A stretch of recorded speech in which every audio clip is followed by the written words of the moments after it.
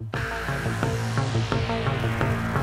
CC300M is our most value-priced paver saw, and it features a 2 horsepower motor with a blade capacity of 14 inches.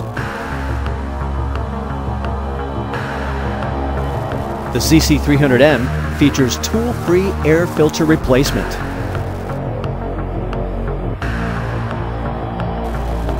The saw head adjusts easily.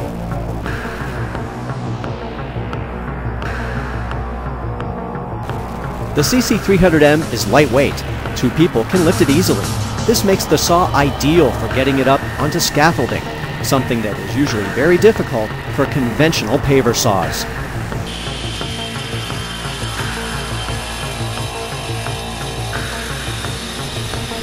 You can cut dry or cut wet with this optional wet tray kit.